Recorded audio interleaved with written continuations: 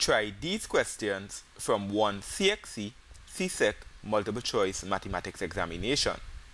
Remember, calculators are not allowed in this exam. To get the most out of this video, pause it here and resume when you have an answer for each question. Okay, let's go. Question 40. The range is the difference between the largest observation and the smallest observation. The largest observation was 22, 24, and the smallest observation is 14, 13. So therefore the range is equal to 24 minus 13. 24 subtract 13 is equal to 11. The answer is A. Question 41. In this frequency distribution table, two unknown values are represented as x and y. We are asked to find out how often the frequency did a student score 5 marks. We are asking to find out the value of x. Well, we have everything we need to work out y. The total is equal to 49. Therefore, 2 plus 6 plus 15 plus 16 plus y is equal to 49.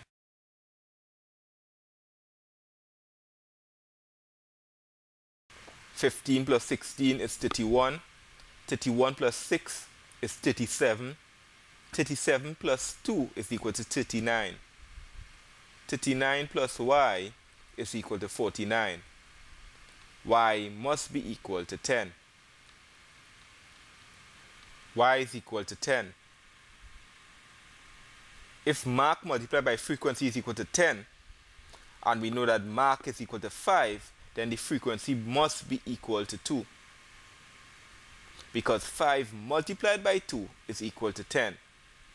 We got that x is equal to 2. The answer is A. Question 43. The length of cabbage leaves is a continuous variable. Thus, for example, the class 15 to 19 would include all values greater than or equal to 14.5 but less than 19.5. 14.5 and 19.5 are defined as the class boundaries. Therefore, the class boundaries are 9.5, 14.5, 19.5, 24.5, and 29.5. The answer is D. Question 45. The probability of an event occurring is equal to the number of favorable outcomes over the total number of possible outcomes.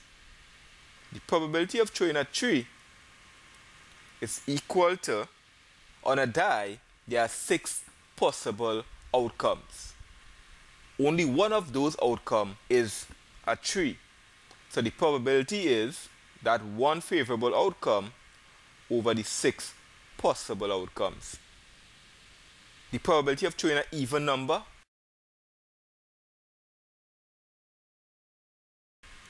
of the six possible outcome when you throw a die, there are three favorable outcomes. If you throw a 2, if you throw a 4, or if you throw a 6. Thus the probability of an even number is equal to 3 over 6. 3 over 6 can be reduced. 3 into 3, 1. 3 into 6, 2. A half.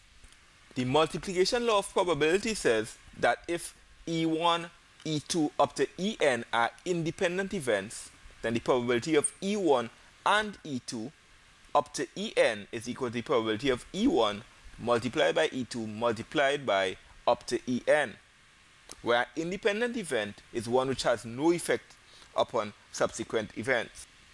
Each row of a die is an independent event. What you roll on one die has no effect on the result of the next roll. Thus, the probability of rolling a 3 and an even number on the next roll is equal to 1 sixth multiplied by a half which is equal to 1 multiplied by 1 is 1, 6 multiplied by 2 is equal to 12. The answer is 1 12th. A. I am Mr. Dube. Post a comment. Let me know how you are managing. If you found this video useful, please like this video.